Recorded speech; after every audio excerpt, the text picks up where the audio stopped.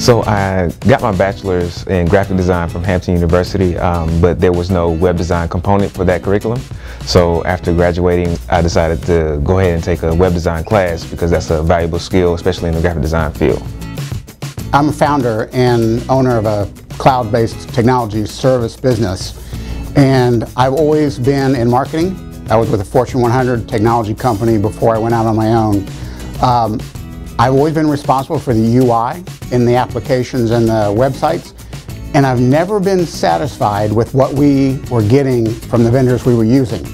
So I said it makes sense to go ahead and take the next step and learn the coding behind the, the interface. So that's what I've done. Uh, I am a computer science graduate.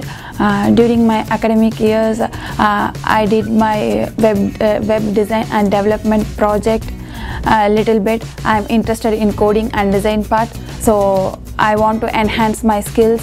So I thought of doing the certification course. The first part of the class went by pretty smoothly for me because um, that was mostly just the Photoshop and the Illustrator work. And then after that, in the second half of the class, when we really got into the Dreamweaver, that's the uh, web building program, and uh, like PHP and JavaScript, and that part it got a little harder, but you know, I still made it through. You can go from not knowing anything about graphic design, take this just this one class, and you have a good basic grasp of everything from Photoshop and Illustrator, making logos, to all the way taking it from a drawing on a sheet of paper to a live website. So they really do a good job of giving you every, all the tools you need to be successful.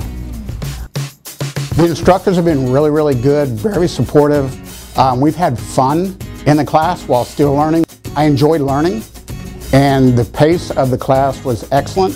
We've all got family responsibilities and work responsibilities and the pace and frequency of the class was perfect for me.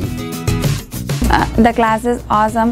Uh, I, I thought uh, I gained my right skills. Uh, I can start my career in this. This is my turning point in my life. So Kennesaw KSU give me the good one. I work at CarMax and after I got my um, web design certificate, they suggested that I go ahead and uh, start managing the department website. And after managing the department website for a month or two, I had the opportunity to go ahead and redesign uh, the department landing page and one of the landing pages for another department.